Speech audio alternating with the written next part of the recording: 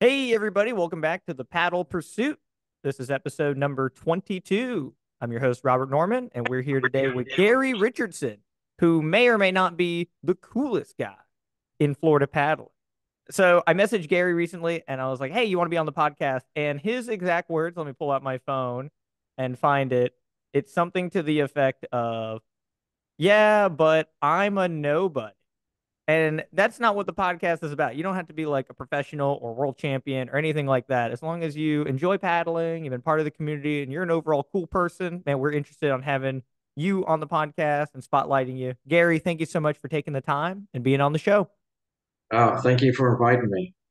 So, give me a rundown. So, I know loosely some of your start. I know that you started with, I think, Dragon Boat and got into paddling. So, kind of walk us through some of your history and the integration into the world of paddling. All right. So, I've actually been in the paddle community for, I think, probably around probably 11, maybe 12 years now. And I actually started out with dragon boating, and I never knew anything about dragon boating until a friend of mine from Mount Dora, uh, her name's Carol, and she sent me pictures of uh, her crew, uh, Woon Fun crew, and the the head camera from from the coach, watching the syncrasy of the whole entire 20 paddlers in sync it, it I was hooked. I mean, I was hooked right off the bat. So I had to find a club near me. And at the time, I was living in Titusville and started searching. I found a club in Melbourne uh, called Heart and Soul. And they're a breast cancer survivor uh, club, which was, um, I don't know, it's like one of those things like things happen for a reason. Um, my best friend, uh, Laura, was uh, going through breast cancer and I was like, wow, how cool is this? You know, join a, you know, I could be a supporter and I got people to help. And, but I started dragon boating and I had my friends who actually gave me some little land lessons on how to hold the paddle, you know, how to rotate, you know. So when I first got in the boat, I kind of knew what I was supposed to do. And we started going, and man, I tell you, I, I fell in love with it the very first day. Um, from there, uh, I had a coach uh, from Vermont who actually, it was about a, probably a year, maybe a year and a half later into dragon boating. He invited me to be part of his national team. And so I paddled with uh, Dragonheart Vermont, Vermont, and we we won nationals, uh, and we ended up going to Hungary World Club Crew Championship, which was I mean, that was like, wow. Thought I, you know, never knew anything about dragon boating. And a year and a half later, I'm in Hungary. First time ever being out of the country, you know, racing against all kinds of uh, people. I mean, it, it was it was an experience. So I don't know. I was probably in dragon boating for about maybe five years, and you know, just kind of had some things going on, and I I ended up searching and, and you know I knew some people were doing outrigger canoeing, and it was right here in Cocoa, you know, right out of the port. Never knew about it. I've lived here all my life, and you know, water. I mean, I've surfed all my life, and so I started coming out. First, I think the first time I uh, I, wasn't used to double bend paddles of course, uh, I get in the boat and I got my paddle backwards, and you know, coach, my my coach, uh, he, he's like, Gary, turn the paddle around, like. and from there, uh, I don't know. I was probably paddling with the club for maybe I don't know five, six months, and I, I mean, again, I found something else that I loved just as much, if not more. And I went and uh, bought a brand new Kahaley outrigger canoe, my uh, first one person canoe. And yeah, I hulied a lot. but, you know, I had someone tell me, because um, I, I would always, I've asked anybody about, you know, how should I hold my paddle? How should I do this? And you know, I had one person tell me, well, you hold, you reach too high up, and that's why you huli all the time. And I'm like, oh, okay. And uh, but you know what? I mean, I'm immediately I try to fly the ama. You know, you know, yeah, I huli a lot. Then I met this guy.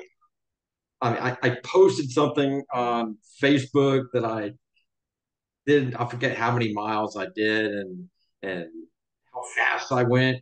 And at the time, I didn't. I guess I didn't know how to read my uh, speed coach. and, and this guy, uh, his name's Robert Norman. he joined in on me, and he goes, "Wow, that's awesome." He goes, "You should come to my race in Lake Hernando." And I'm like, oh, I don't know if I'm ready for that. And then we figured it out that I, yeah, I read my speed coach wrong and I wasn't really that fast. but, but I went to, uh, I went to your race. That was my first ever race. And tell you what, that was an experience. Um, the, the, I, I don't know. It's like the Ohana that was, that was there at Lake Hernando. Um, I know, I remember when I, I walked up to you because you've you've always been so good to me and always showed me.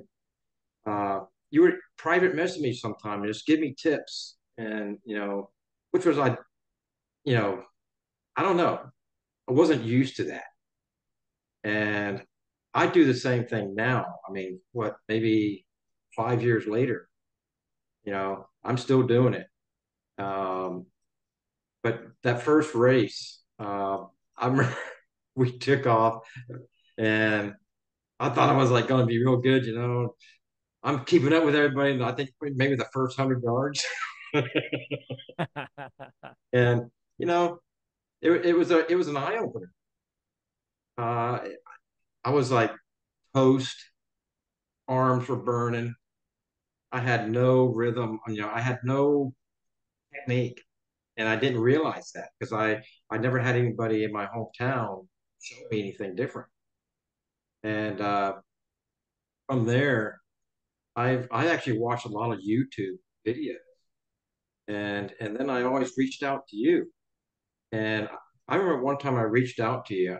You were out of town, or you you were at a race.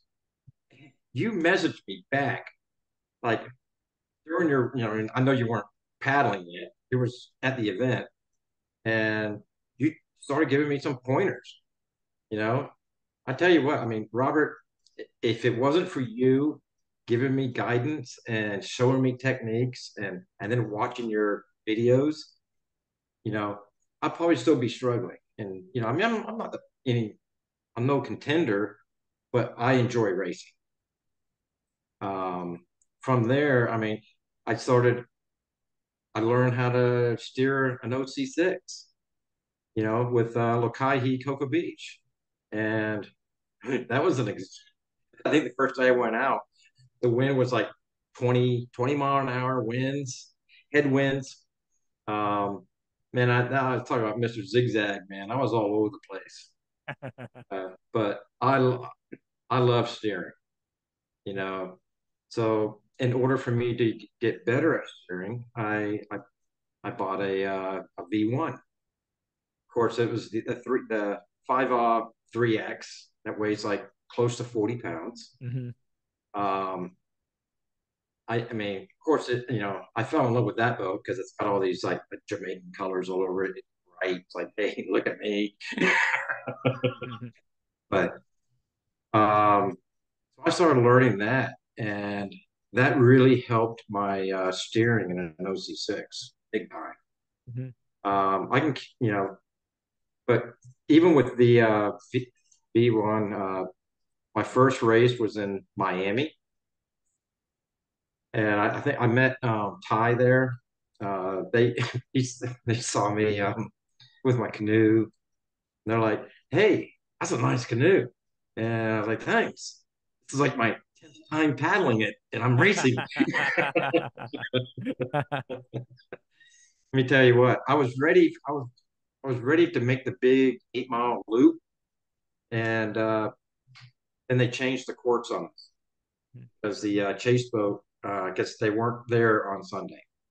So they made this triangle race, and it was straight out into these like chop.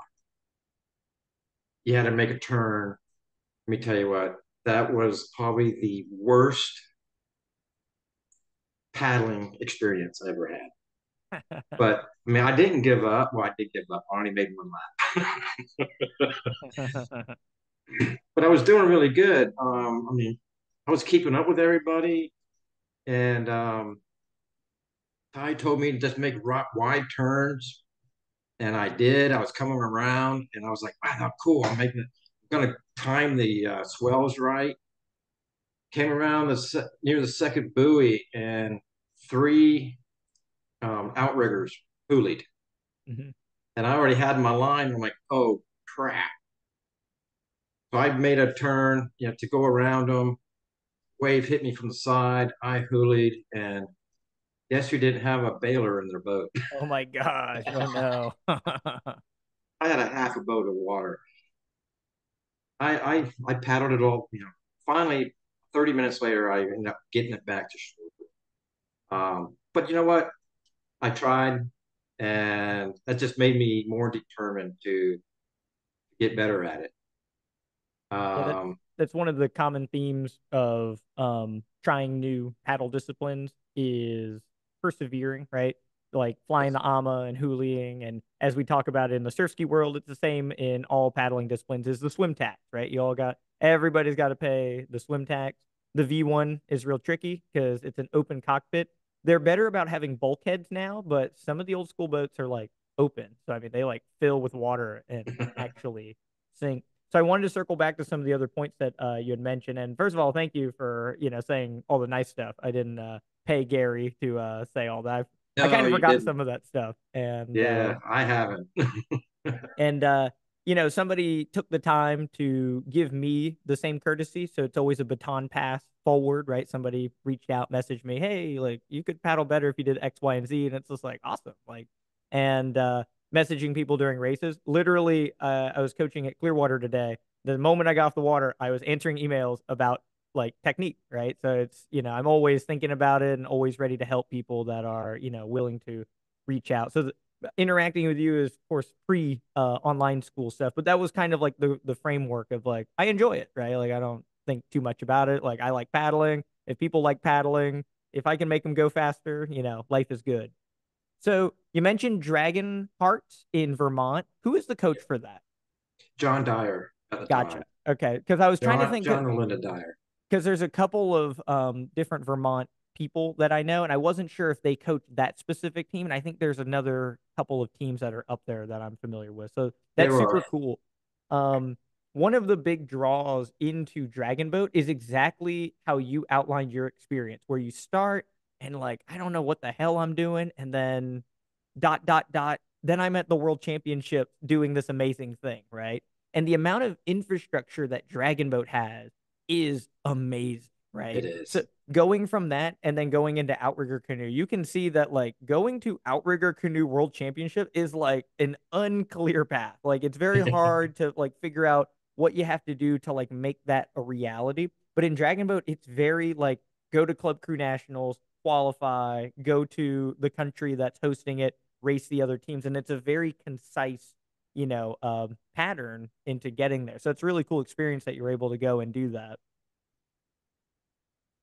Talking about um, paddling in an area where you've been your whole life, I get that all the time with uh, K2N, where people are like, "You guys paddle out here?" It's like, "Yeah, we're out here seven days a week," and it's like, "I've lived here my whole life, and I, I didn't know that you guys did that." And it, it kind of shows that like paddling is like its own underground niche even if you do it all the time, the amount of eyeballs that are on you is very minimal. So it's almost like the secret club of like speakeasies where like you got to know somebody to get into it.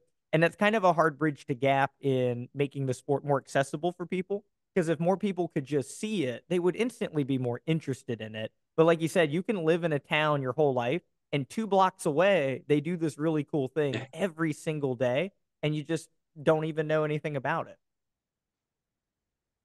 So that's that's Lokahi, right? So uh, tell us tell us more about your first time uh, steering and drawing. What we say is you write your name in cursive the first time that you go steering, right? So you're Yeah. zigzagging all over the place. So what Oh, was it yes. like? You got in the boat. What were the conditions like, and how did that go? Oh man. Uh, so at first I had to back the boat out into because where we put in is at a boat dock. So we had to push off the dock and then back the boat out of this little cove area. Now it's like it's surrounded by seawall. Mm-hmm. And we come right out into the port area where all the cruise ships are.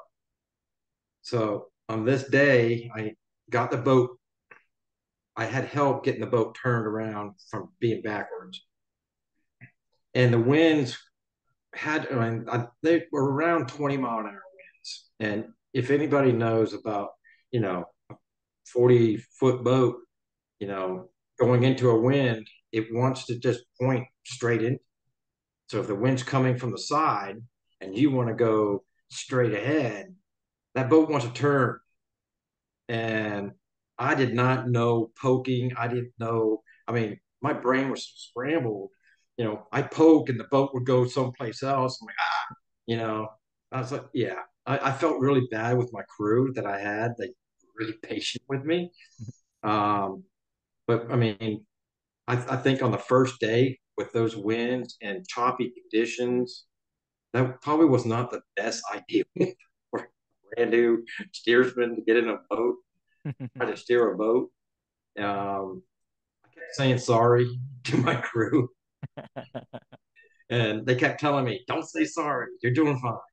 There was a lot of encouragement, um, and that's one thing about the uh, outrigger uh, community. There's a lot of encouragement. Um, in fact, uh, I'm just going to throw one one club out that I really appreciate a lot is uh, Task Force Hydro One. Mhm. That is an example club to that. I mean, the oh- Ohana, you know, it's family. They treat everybody like family. They educate. They they they. It's like the whole Hawaiian tradition. They get together for potlucks. You know, they help each other. You know, they teach each other on stroking, and you know, and we taught them, and they came to us in Lokaihi to learn how to paddle, and they drove from Jacksonville. You know, every every Sunday until they learned, and they they started their own club down. So it was really cool. But um, yeah, the steering that was. I, I'm just I'm I'm a very competitive guy, and if there's something I can't do, I'm gonna do my best to prove myself wrong. And now, I mean, after that first day, I figured, now they're never going to ask me to come back. And well, next practice, they put me back there again, and uh, my coach Scott, he he literally sat behind me. So he sat on top of the back of the boat while I was in the steersman seat, which later I found out, it's like, that made it harder for me to paddle, not to steer, because the boat was right. Yeah, yeah, yeah.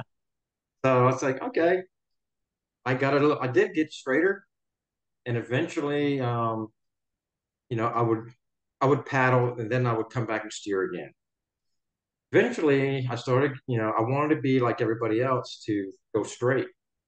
So I just, I mean, I started reading on it. I started watching videos. I, I mean, that was my probably a lot of my teaching. Uh, besides getting tips from you, is I, t- I watched a lot of videos on YouTube and just say, how do I do this? Or how do I steer an Outrigger 6? And then once I got the concept, um, then I started, you know, I got a V1, but now I'm learning how to paddle steer. That's all I do now. Um, very every once in a while I'll poke, you know, and but I, I don't want to wear my crew down. I want my crew to if they get that boat going, I don't want to down, you know. So it's a you know, your team and there's no I in team, I can tell you that, because it takes a whole crew to either win a race um, or just do the best you can. Um, and yeah, I am very fortunate because there's a lot of people in my in my club uh, that have told me when we go out into we go out into the ocean. So there's days uh, it's rough, big, and I've had uh, someone in, in our club who she doesn't want to be in the water. She doesn't want to huli. And when we go out into rough seas, she actually came and told me one day, she was, Gary, when we are out in the rough seas, I'm very, I feel very safe with you.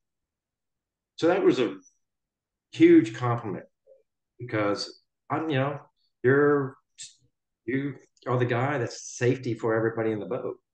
And one wrong poke on the wrong side, over you go. And uh, luckily, I've never had to do. I, I, we've hulied once, but that was only because uh, we we're pulling it back into the dock, and I asked uh, two seats to draw to the right, and everybody leaned out to the right, and we.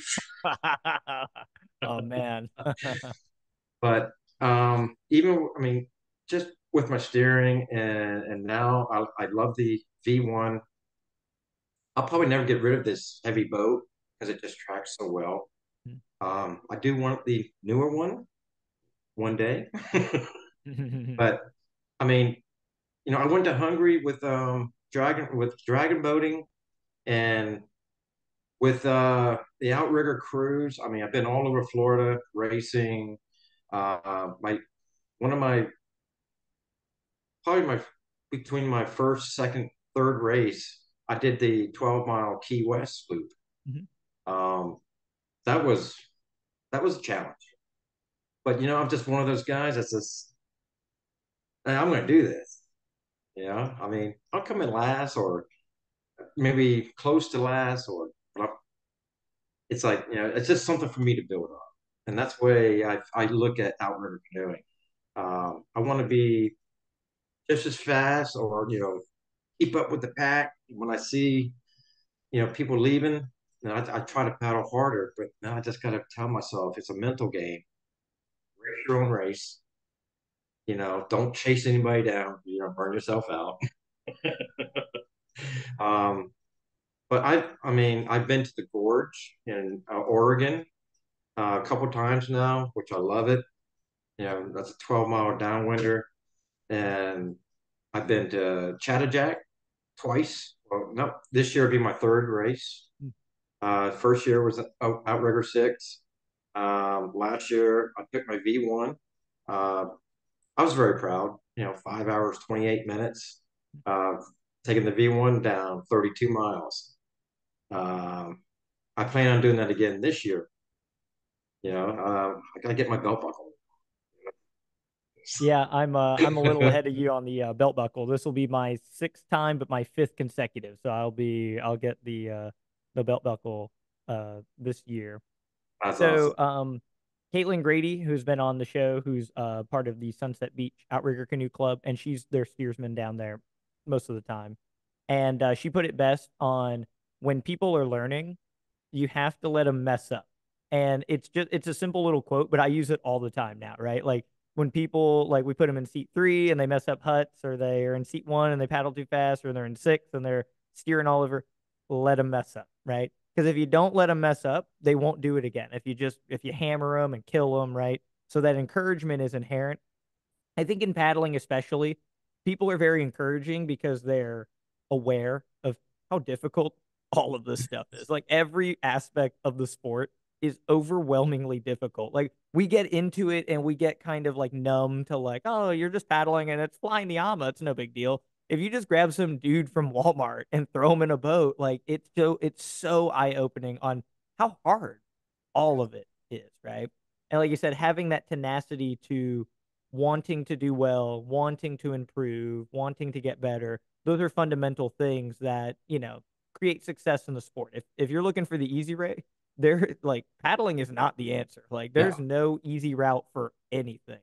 And you know, having that internal drive for OC6 steersmen, two things that you went over, right, is the safety of your crew, right? That's an important that's one of the reasons people don't steer is because they understand how important of a role that is for safety, not letting the boat huli, not crashing into the rocks, stuff like that and they don't want to do it. They don't want to be responsible for five lives plus their own. And I, I never blame anybody if they get wicked out about steering because it it is that important of a role and helping your crew, right? So if you made it this far in the podcast, here's some technical info, right?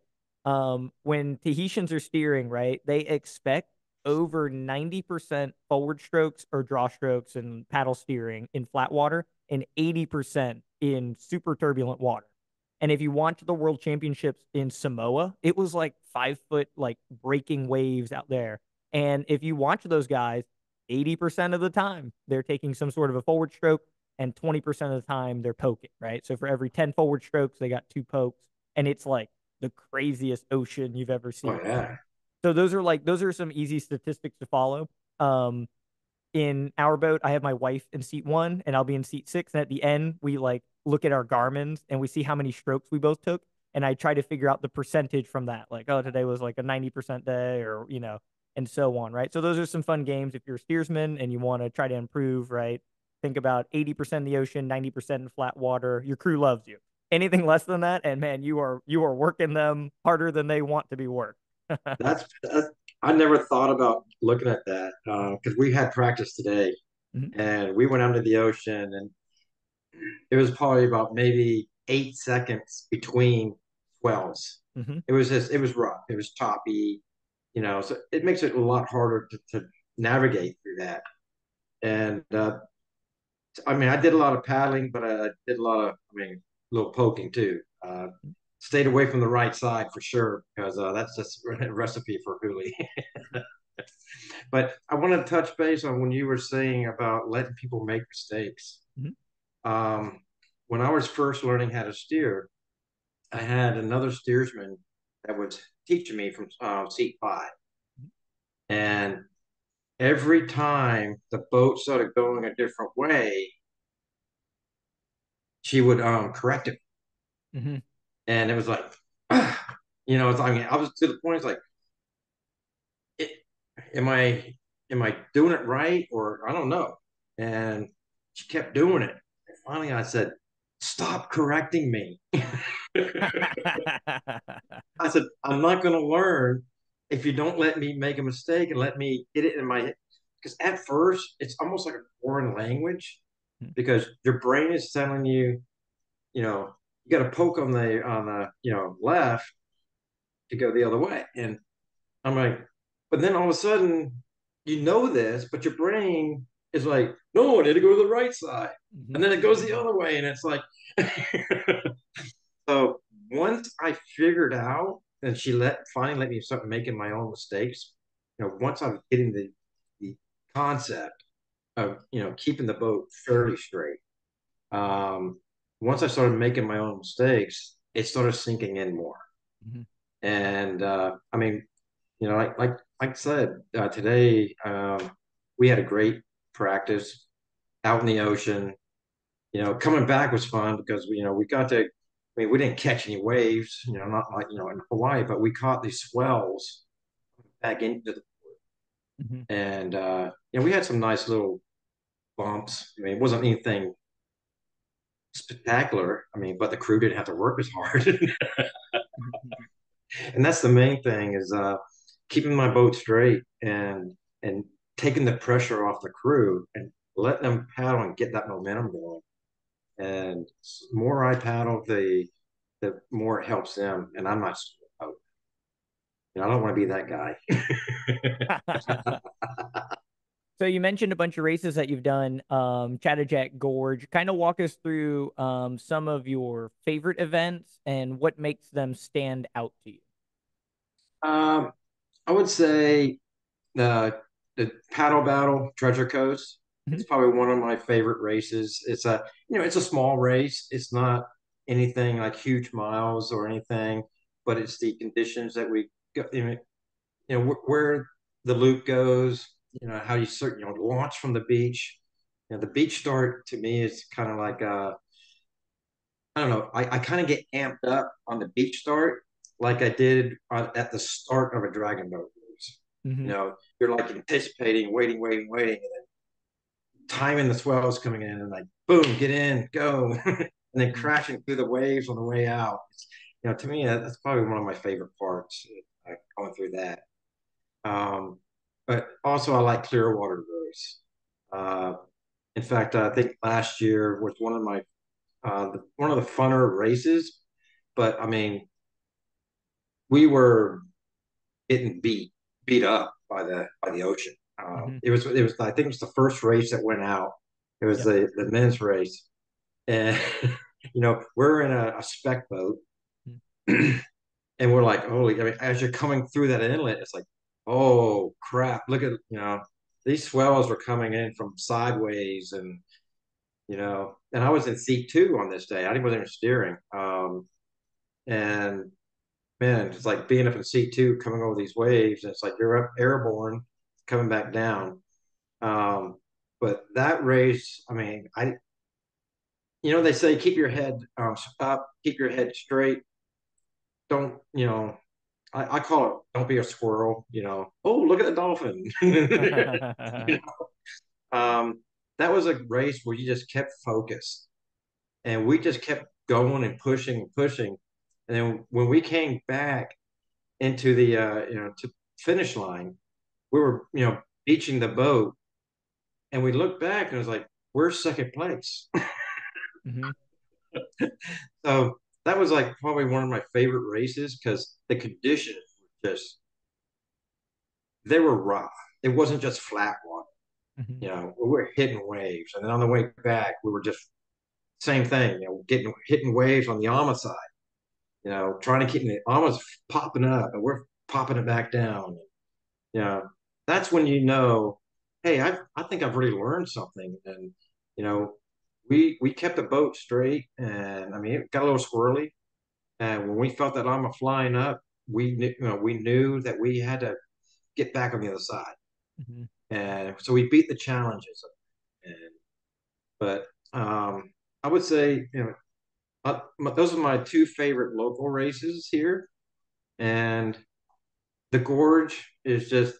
I'm a Florida boy. I mean, I don't get to see mountains, and to and to, right, to paddle down that gorge, and you know, connect wave after wave. You know, um, to me that that that's one of my favorites because you're moving fast. You're, I mean, you're still paddling hard, but you get a break every once in a while. You know, you get to ride those waves, and and you know now I have an Aries. You know, I, I traded in my my Kahele, and now I have the Aries. I only went with the Aries because, um, you know, I want to. You know, I live near the beach, so I take it out and I'll surf some of the little beach. And we don't have like downwinders on this. I miss. I, I wish we did, but um, getting better at you know the surfing the waves here, and you know I'm still trying to go to the gorge this uh you know when it's coming up here what July. Mm-hmm. Yeah, July. So I'm still I, have already signed up for it, but uh, just uh you know was laid off like six weeks ago, starting a new job, so I don't know if they're gonna let me go. gotcha. Yeah. But, yeah, I like that, and I'm hooked on the Chattajack even though it's like 32 miles. You know, it's it's just one of those things when you finish it, it's like pat yourself on the back. I did it. I mean, you know, I'm just like guy. I don't have to come in first, or I don't have to come in the top five or top ten. Knowing that I finished it, and this year doing it again, my goal is to beat my time from last year. you know, yeah, that's one of the big draws of all events that are special to people is like you said, uh, overcoming like a trial of some sort, right? Whether it's super rough conditions, it's a super long distance, going out of your comfort zone and surfing waves for real at the gorge. All those things are like contributing factors that make people want to do it again or it gets them hooked on their training and trying to do mm. those things you mentioned Key West being rough. The first time I did Key West, I got done. I was like, I'm happy to be alive, man. Like, well, yeah, and, that's where I was. yep. And then it's like, and then after you do it a few more times, it's like it's even worse. But you're just like battle hardened and ready for it, right? But the first ones are always so memorable, where it's like, how the hell did I come out alive at the other end of that? And I think that's some of the magic that you know kind of you know ignites people uh, I agree. Clearwater is one of my favorite uh, races. It's like, and it's kind of like Treasure Coast, where it's not a huge thing for Florida. It's big, but it's just like you know, every year, you know, the whole club, we all train for it and everybody gets Yes. psyched for it. And it's always a big deal. And uh, the conditions are always varied. And uh, I agree. I, I really like the uh, Clearwater. Speaking of Chattajack, uh, we need to convince uh, the administration there to make V1 a category. That would be the Ah, next that step would in be it. awesome. Because right now it's an outrigger canoe, and I don't think it's an outrigger canoe for any other reason than simplicity, right? So I think a couple emails and like, you know, and they'd be like, hey, if you can get 10 people to do V1, we'll make it a category. Right. And uh, I think that would be there's a booming popularity in V1 in general. You're ahead of the curve on that one, right? Because you've had yours for a little while now, and uh, there are all these races here. We're trying to make V1 a category. You know, Ozone shipping in new boats. There's a couple other brands that are floating around, and I think V1 in the next year or two will blossom into a legitimate category where people are, you know, um, more likely to do it. It's hard racing the V1 against outrigger canoes on paper, if you're born in Polynesia and born in a V1, it goes faster. But for the rest of us, it's like this boat is pretty hard to, you know, the Yes, rudder it is. simplifies things, right? So the V1 is like there's this huge learning curve on using it effectively. Um, looking at events, is there anything on like do you have like a bucket list of things that you want to do, whether it's around the world or around the country? Are there any events that you have your eyeball on that you want to do before, you know, your paddling career is over? Shoot, my I, I'm my pattern. I'm never. It's never going to be over. I'll do it to the day I die. Yeah, I didn't want to say until like before you die. I didn't want to be morbid, but that's kind of what I meant. Um, there, you know, I do want to go to Hawaii. Um, for a couple of reasons. Uh, I want to be able to go there and try to do some of the downwinds um, that they have there, and I want to. I really want to do an outrigger six, you know, six person crew race. That would be awesome. Uh, I don't know if that's, you know, I don't know if I'm ever going to be able to do that. Uh, it would be great. Uh, I was invited last year um, uh, with Will. I think you know Will from Jacksonville. oh yes, yeah, yeah. They did Queen Lily, right? Yeah, they did the Yeah, yeah, Queen right. Lily. Mhm. He asked me to go, and it was just bad timing for me. I was like, oh man, if I, you know, at the time, if you know, conditions were better for me, I would have jumped on that. Mm. Um, but I mean, yeah, that's one of my bucket lists to go there. Um, know, first it was the uh, like the the or- Oregon, you know, the downwind. I, I done that, and and then my club was doing the um 32 mile Chattajack. I, I heard what is Chattajack, and then oh, it's 32 miles, you know, and so finally I was invited to go, and luckily, you know, had an open seat. All right, let's do this, and I was worried. Uh, I've never paddled 32 miles in my life, you know, I trained, I did my best, and tell you what, uh, your your brain is probably the worst enemy because it's it tells you you can't go any further, you can't do it, you can't do it, and then you just push through. then once you hit that plateau, I mean, I call it like a like you're a machine now. You're you're just, you're going through, and you're you know you're digging hard, and next thing you know, it's over. It's like Mhm. You know that's the way it was in the V1 last year. Um, I my of course my watch stopped at 27 miles, so I don't know what my but um, I kept hearing one guy, him and his wife was in a in a two person, and I kept hearing him say, "It's just around the next corner," or you know, and I'm going, "Oh, finally!" Thank you know, go around the next corner. There's no finish line. I think we went about by maybe five corners, and finally I saw where we're supposed to be. but it's just one of those. eh, I don't know. It's so yeah. Hawaii is probably the you know one of the Queen Lily or uh, any of them. I'm, if I was actually asked to join a club and go, and regardless what race, I I I do it only because I know I know I can do it now. Um, you know, when I train when I trained for Chattajack, at Merritt Island here, uh, it's an 18 mile loop. So they can start, you know, on the Banana Riverside, come around, you know, go through Sykes Creek and head back out to the end of Merritt Island and come back around. It's 18 miles. Um, I I was training in that for Chattajack. You know, going, you know, I would make a 32 mile uh, trip. You know, go one way down the river, then come back. Of course, every time you did it, like the wind mm-hmm. and the chop, boat weight, and it just made it harder. And I was like, this sucks. But once I got on the, you know, I knew once I got on that river, we're going one way. mm-hmm. Um, no, I mean, I really don't keep track of what races are coming up. Um, I hear through, you know, I don't, I probably should follow it more. Um, but I, I don't know. I mean, if I, if I have the time and, you know, the, the cash or whatever to take off to go across state for a couple days, and you know, I'm there, you know, as long as I get registered in time. Yeah, the um Hawaii is is like the holy grail for a lot of people. Like you said, like the barrier is uh you know plane and you know hotel expenses and all that. Queen Lily's really cool, and uh, it's one that most people recommend.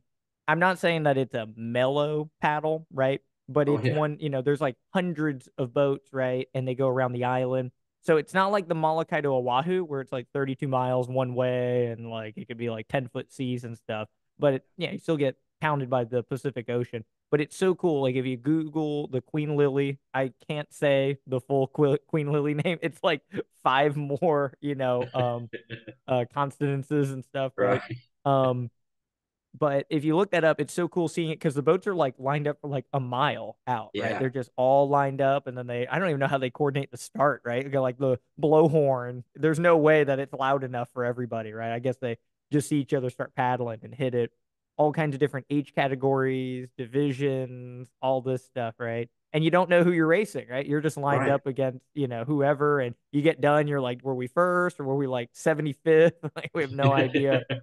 and uh, so I, have heard some really good things about that. Um, for downwind runs, uh, Maliko runs, those are the ones that people swear by, right? Because it's very consistent and they're like three to five foot consistently, and it's not like crazy 11 foot, you know, super swells or something out uh, on some of the other runs. And uh, I have all that on my bucket list too. And like you said, like, you know, you start adding up like support boat support boat costs and you yes. know travel expenses and hotels and all this. And it's just like holy crap! It's like, not a cheap sport. it's not or yeah, cheap so, hobby. yeah, a lot of the tra, especially the traveling for events, that's where it starts to like escalate a lot, right? and uh, even purchasing boats like you know there's a big barrier to entry uh, for a lot of people um, that's one of the bases of my organization is they they don't have to worry about it right? Like they, they show up and you know they pay you know a dollar a day and they, yeah. here's my freaking Draco Pro go paddle it out on the the water. But giving people the opportunity to figure out if they like it by giving them the equipment you can use as much as you want. When people fall in love with it right then they allocate you know money towards it or buy used or whatever and uh, find a way to get into it more right? But there's a lot of people where it's like hey before you can paddle this you got to buy it they would never do it right no. so just giving them that entry into the sport? I I did that because everybody had one, mm-hmm. and I want to go play in the water with everybody. You know, so yeah, I you know stepped it up and bought a brand new Kahele. so looking at um the sport your interactions with it right what are some of the pieces of advice that you could give to somebody who is new to the sport getting into it, trying to figure out how seriously they want to take it? What's some advice that you can impart on them? I would I would definitely say uh, you know meet up with someone who can definitely let you use their boat. You know, give them you know have them give you pointers. You know, at first, and you know how to paddle correctly before you get bad habits. I know with me, when I first got in mine, I didn't have anybody there. I mean, we would paddle, but there was just no. There, I had, I didn't have that. Um, hey, you're doing this wrong, or hey, try this. You know, um, I relied on YouTube, YouTube and Robert Norman. I mean, honestly, and I'm not doing that just to plug your spot. I mean, this is your show.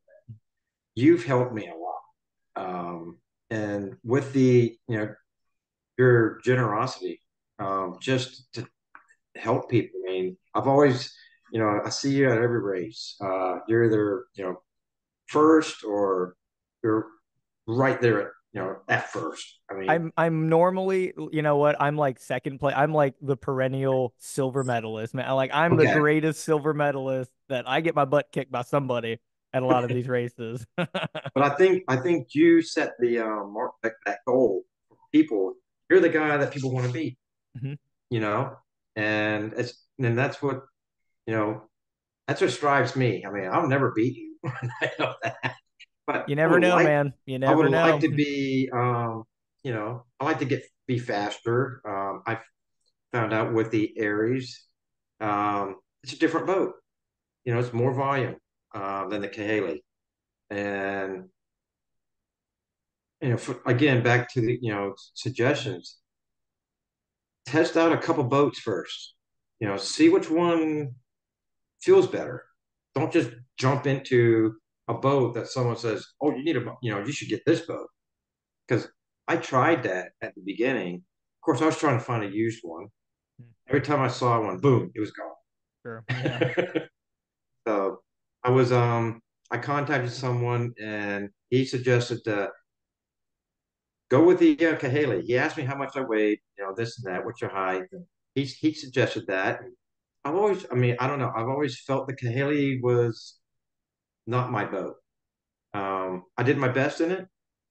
I learned how to fly the ama in it. Um, I surfed it. You know, it was it's a different. It's definitely a different animal than the uh, Aries. Um, and I I was going to try the Draco, but I don't know. I'm one of these that I start getting on the internet.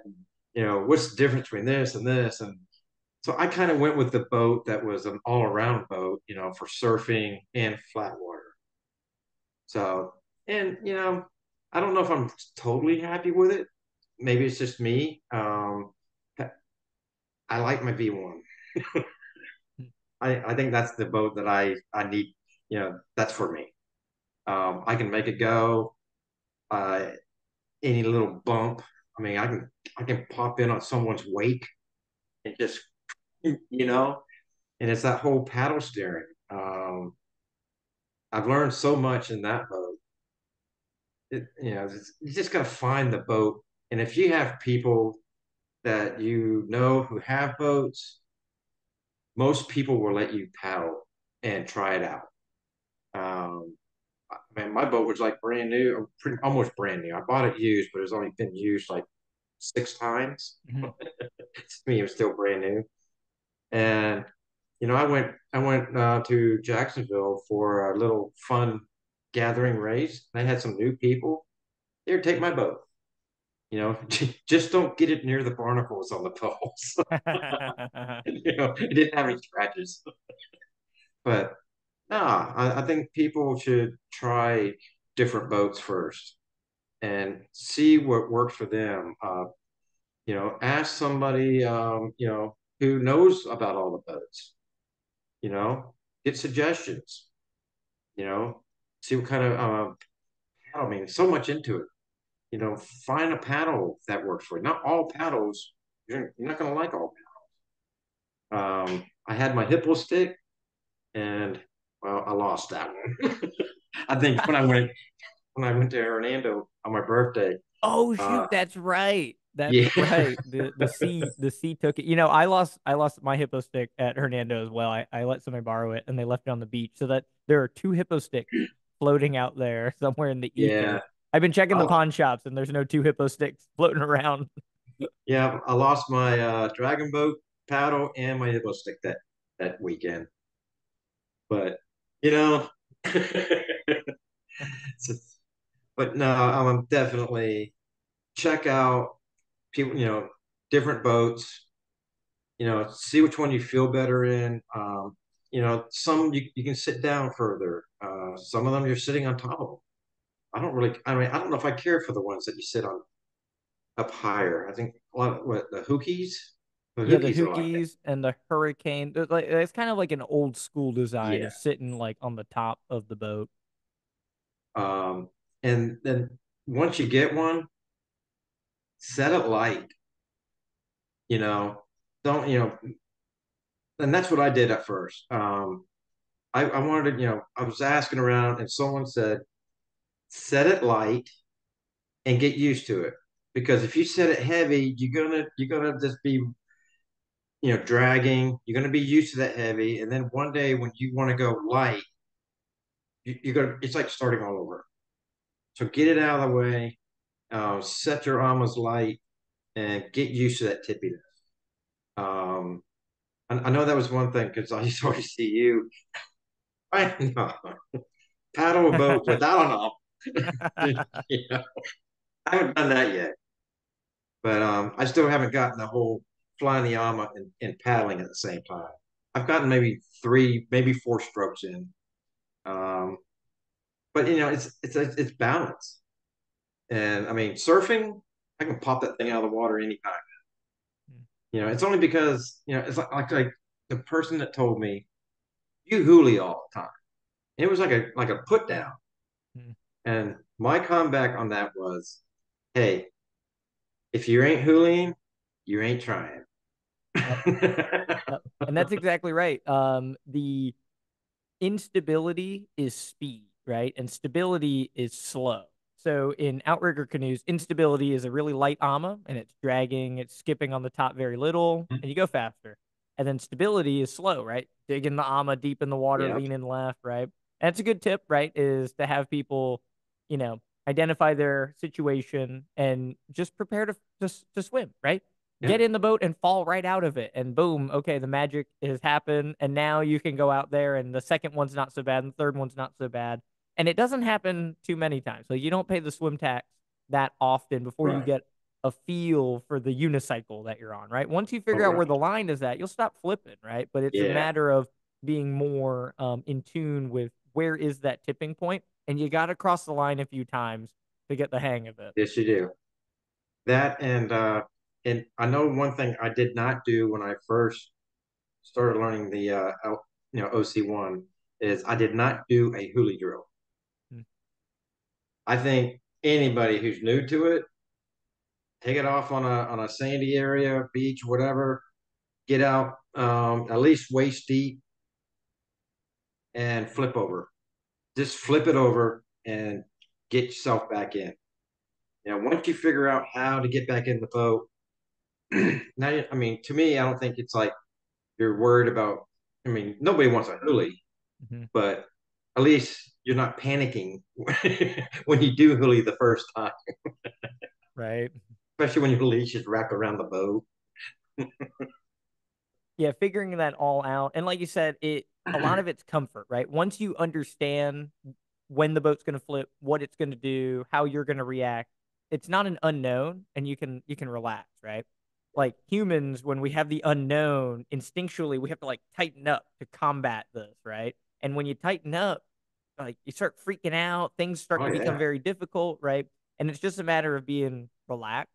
And the only way to bridge the gap from being tight to relax is simply doing it a few times right? Yes. And um, like you said there's all kinds of online resources and stuff. If you google you know how how to huli recovery there's something that's going to pop up you know on flipping the boat over, climbing back in, and uh, all of that.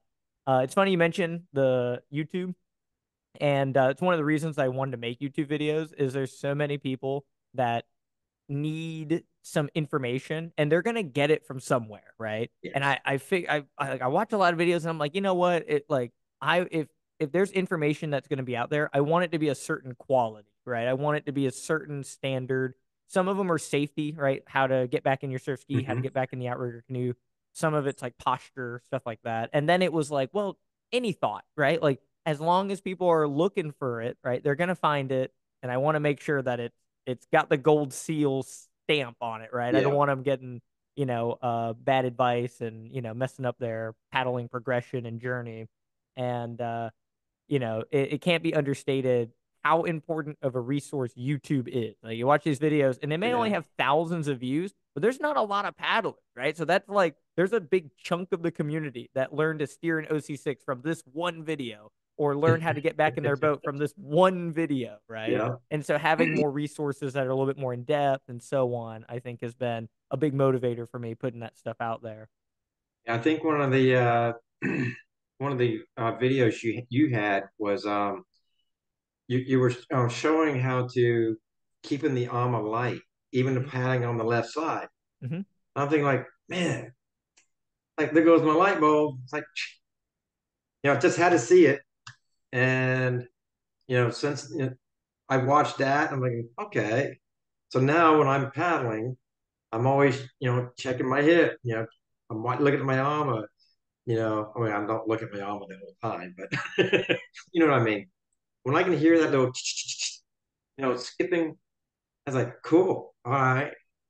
You know, of course, when I get back home, I'm checking the speed. How fast did I go today? What's my max speed? You know, when I when I one day I hit, um, it was like almost nine miles an hour, Mhm.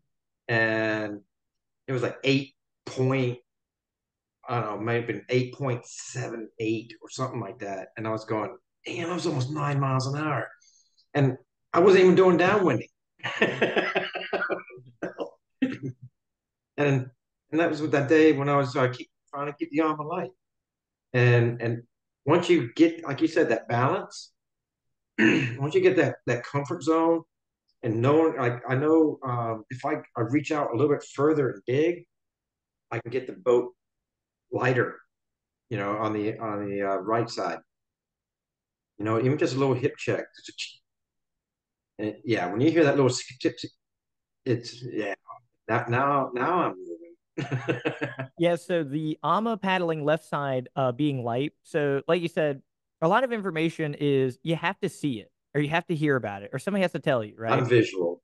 And when people don't have a paddling community, that's the number one thing that I like have an affinity for. Like I started in Hernando, there's a time it was just me and YouTube videos, right? And it's so hard to get information. And a lot of people in a club dynamic, they have dozens of people they can bounce ideas off of, they have the support and so on. A lot of people they have nothing, right? And so they rely on some of these, you know, pieces of information. So paddling left side, light AMA. If I need to get on this podcast, I'm gonna say his name. So the winner of the OC1 at Chattajack, Judson Gray, he stayed with us at um Chattajack in the same house. And this guy, talent, talented, right? He's like six foot six. And like if you think that it's cool when I paddle with the AMA up on the right side, I watched this kid paddle a quarter mile, switching back and forth with the AMA just up in the air, like head high, and he's just flying. And I'm in an OC2, and we placed me and my partner, and we're cooking it for a mile going upriver. And Judson's like next to us with the AMA up, chilling, paddling, and he's keeping up with us, right? So like you watch that, and it opens up your mind, like, holy crap! Like he literally, his AMA barely touches the water when he's paddling. Like when he wants to show off, he can put it three feet in the air. But when he's actually paddling, it's very light on the water. And I watched him switch to left side, and I heard the AMA skip.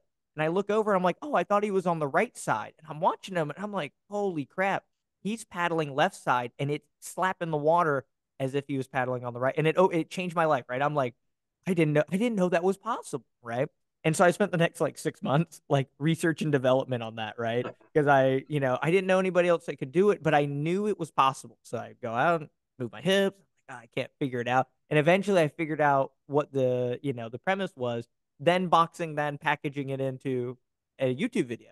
Now I'm able to share that with a bunch of people. That video has like 2,000 views, right? So there's 2,000 eyeballs that saw that idea that stemmed from a super high level paddler that paddles, you know, all the time, but he's in California, right? Most people don't even know who the hell he is, right? Yeah. But that's how that information can flow and get to, you know, people that otherwise would never see that or never know that those ideas are real.